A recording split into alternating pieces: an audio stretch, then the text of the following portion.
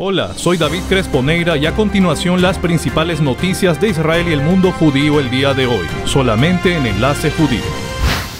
Es lunes 30 de enero. El secretario de Estado de Estados Unidos, Anthony Blinken, llegó a Israel como parte de una gira en la región. En Jerusalén se reunió con Benjamin Netanyahu, ante quien reafirmó el compromiso de Washington con la seguridad de Israel e instó a frenar las actuales tensiones para no llegar a una escalada mayor de violencia, indicando que Estados Unidos continúa firme en su apoyo a una solución de dos estados y se opone a toda acción que la perjudique. Asimismo, sin hacer una mención explícita del tema, Blinken sugirió que la reforma judicial propuesta por el gobierno de Netanyahu se lleve adelante solo con un amplio consenso entre la población y pareció insinuar la preocupación del gobierno de Joe Biden respecto al futuro de los valores democráticos e institucionales de Israel.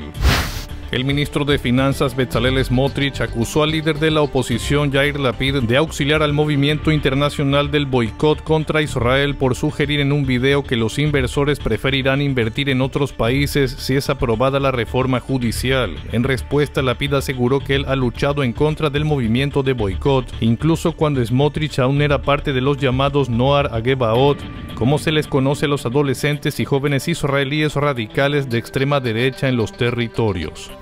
El gobierno de Netanyahu estaría formulando una iniciativa de reforma de ley con la que se garantizaría el regreso a la administración de Ari Deri, el líder del partido Shas, sin que la Corte Suprema de Justicia de Israel, quien ordenó su sustitución hace algunos días, pueda intervenir de nuevo en dicho nombramiento, reportó el Canal 13.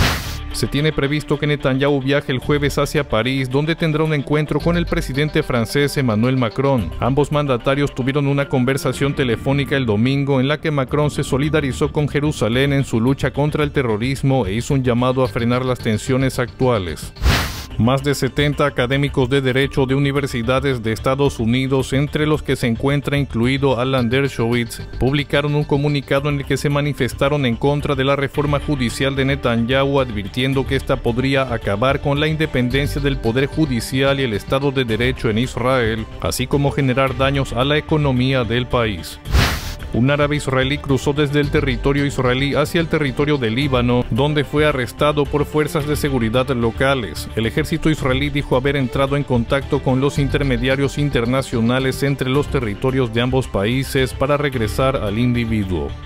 El Ministerio de Defensa de Israel entregó tres ambulancias blindadas adicionales a los servicios de emergencia de Ucrania como parte de la ayuda humanitaria de Jerusalén al país europeo invadido por Rusia.